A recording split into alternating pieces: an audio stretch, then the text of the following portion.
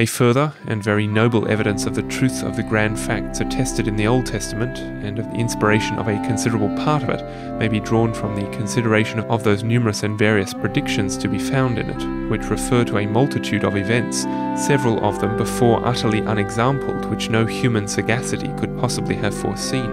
and which nevertheless happened exactly according to those predictions. Having advanced thus far, we may take up a set of arguments correspondent to those insisted on above, to prove from its genuineness and credibility, now supposed to be evinced, that the Old Testament was written by a superintendent inspiration, and this we may argue not merely or chiefly from the tradition to this purpose, so generally and so early prevailing in the Jewish Church,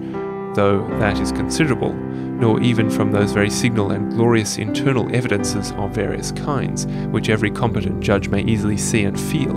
but from surveying the characters and circumstances of the persons by whom the several books were written, in comparison with the genius of that dispensation under which they lived and wrote. This may, in all the branches of the argument be proved in this way with the greatest ease and strength concerning Moses and his writings, when the authority of the Pentateuch is established, that of most material succeeding books stands in so easy and natural a connection with it that I think few have been found, at least since the controversy between the Jews and the Samaritans, who have in good earnest allowed Moses to have been a messenger from heaven and denied the inspiration of the prophets and of the books which we receive as written by them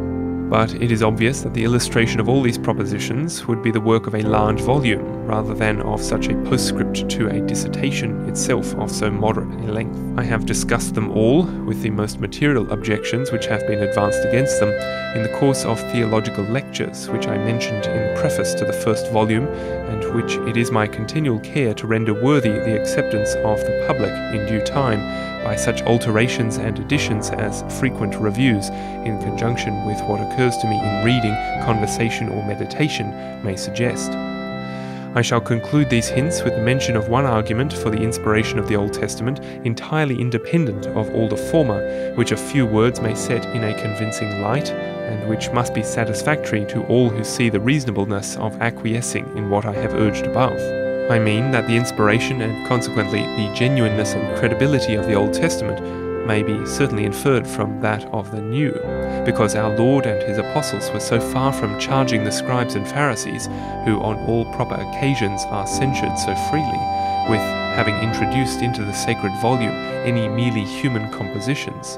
that on the contrary, they not only recommend a diligent and constant perusal of these scriptures, as of the greatest importance to men's eternal happiness, but speak of them as divine oracles and as written by the extraordinary influence of the Holy Spirit upon the minds of the authors. I desire that the following list of scriptures may be attentively consulted and reflected on in this view. I might have added a great many more, indeed several hundreds, in which the sacred writers of the New Testament argue from those of the Old in such a manner as nothing could have justified but a firm persuasion that they were divinely inspired. Now, as the Jews always allowed that the testimony of an approved prophet was sufficient to confirm the mission of one who was supported by it, so I think every reasonable man will readily conclude that no inspired person can erroneously attest another to be inspired and indeed the very definition of plenary inspiration, as stated above, absolutely excludes any room for cavilling on so plain a head. I throw the particular passages which I choose to mention into the margin below, and he must be a very indolent inquirer into a question of so much importance who does not think it worth his while to turn carefully to them, unless he has already such a conviction of the argument that it should need no further to be illustrated or confirmed. John 5:39, Matthew 4, 4, 7 and 10, Mark 12:24, Luke 10:26 and 27, Matthew 5:17 and 18, 21:42, 22, 29, 31, 43, 24:15, 26, 54 and 56, Luke 1, 67, 69 and 70, 1631, 24, 25 and 27, John 10, 35, Acts 2, 16 and 25, 3, 22 and 24, 4, 25, 17, 11, 18, 24 and 28, 28, 25, Romans 3, 2 and 10, 9, 25, 27, and 29, 10, 5, 11, and 16, 15, 4, 16, 26, 1 Corinthians 10, 11, 2 Corinthians 4, 13, 6, 16, and 17, Galatians 3,